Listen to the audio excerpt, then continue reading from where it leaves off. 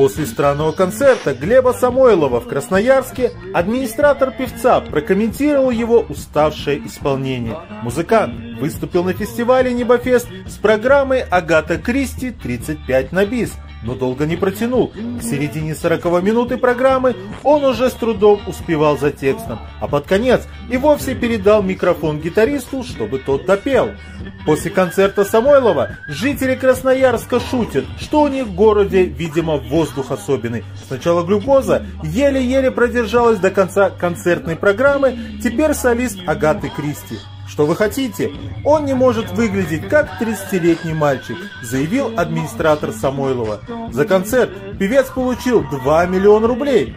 Об этом стало известно позже. Большое спасибо, подписывайтесь на канал и нажимайте на колокольчик. Объясните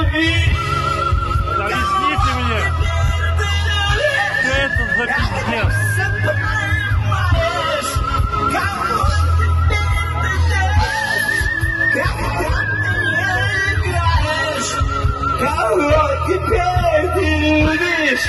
Когда понимаешь? Кого теперь ты журишь? Когда ты не играешь? Когда ты не играешь? Вот так вот, это пипец. Полный. Он сейчас упадет. Бедный Глеб Самойлов.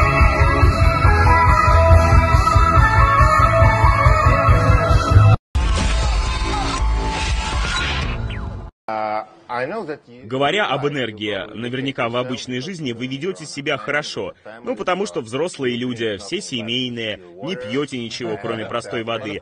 Или фруктовые соки, но вы рок-звезды. Так что должны притворяться, что пьете еще что-то, кроме воды. Так что же это? Что является вашим топливом? Я предпочитаю быть в форме, поэтому все, что мне нравится, это то, как я выгляжу. А в моем теле столько наркотиков и алкоголя, что мне больше не нужна будет дозаправка еще как минимум следующие три жизни. Мы уже настолько от этого далеки. Да, мы выросли из всего этого. Но все же вам нужно что-то, хотя бы даже чай, чтобы поддерживать свою энергию на столь высоком уровне. Нет, сейчас лучшее, что ты можешь сделать, это держать себя в форме. Если не занимаешься спортом, не сможешь делать многих вещей. Наверное, когда тебе 20 лет, тело еще справляется с нагрузками. Но мы все знаем, что после пьянки еще три дня восстанавливаешься. В общем, что делать? То, что мы делаем, чтобы участвовать в турне, надо держать себя в форме. А что вы обычно едите? У вас есть любимые блюда? А в турне, в дороге, бываем, едим, что попало. Мне нужна шоколадка, хотя, ну, чтобы пережить перелет. А то иногда случается, что не поел, а тебя там уже и не накормят. Ты же не можешь послать, принести тебе поесть в Аэрофлоте или Люфганзе. А что вы обычно едите? У вас есть любимые блюда? Да, конечно. Что, простите? Блюда русской кухни. А нет, еще не успели, мы только вчера прилетели. Вы же были здесь и раньше. Ну да, конечно. Икра, русская икра. Водка с икрой? Уже только икра, время водки для нас прошло. Не политкорректно, но без злого умысла. Иронично, но без сарказма. Пристрастно, но по-честному. «Правда 24» и Евгений Додолев. С понедельника по четверг в 19.30 на телеканале «Москва-24». Сегодня по интернету разлетелось видео сценического фиаско нашего известного земляка, экс-солиста группы Агата Кристи Глеба Самойлова, вышедшего к зрителям в состоянии сильнейшего опьянения и не сумевшего спеть даже одной песни.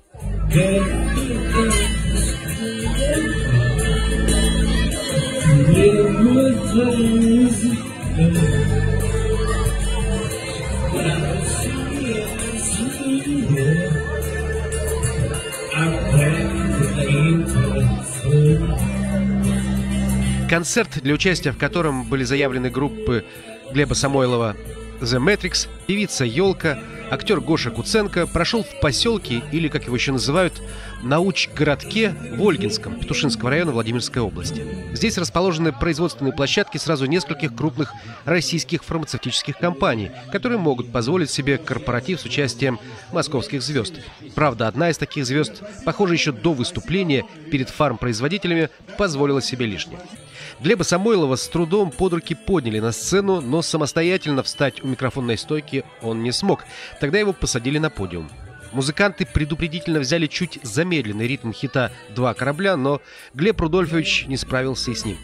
50-летний солист и так в последнее время почти не открывает рот во время пения, но в этот раз слова песни не смогли разобрать даже его преданные поклонники.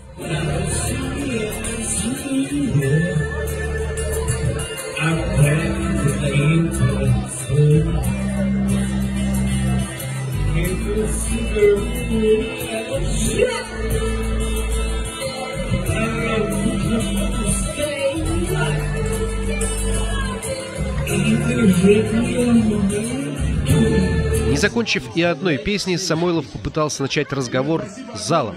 Но и это у него не вышло. Тогда ведущий попросил зрителей проводить рок-звезду аплодисментами, против чего Глеб возражать не стал.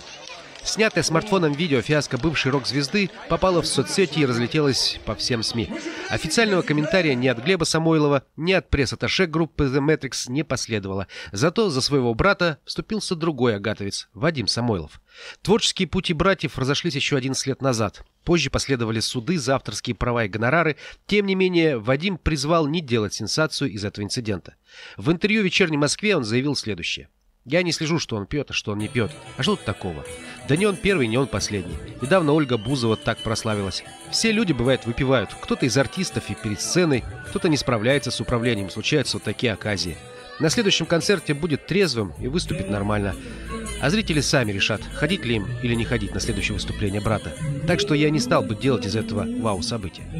В свое время, когда братья выступали еще вместе, злые языки поговаривали, что и у того, и другого были проблемы и с алкоголем, и с наркотиками. Однако Вадим в какой-то момент нашел в себе силы отказаться от допинга. Выступления же Глеба все чаще напоминают этот выход в Ольгинском. И дело даже не в том, что его шатают у микрофонной стойки, а веки его полусомкнуты. Дело в отсутствии энергетики, за которой в свое время зрители и полюбили этих уральских парней. Музыканты The Matrix стараются, зрители поддерживают аплодисментами, свет, звук, все на месте, но, как в той сказке Маршака, разевает щука рот, а не слышно, что поет. Не переливается та энергия артиста, за которую мы их и любим, через рампу. И алкоголь в этом играет не последнюю роль, высасывая все жизненные и творческие силы. Давай с тобой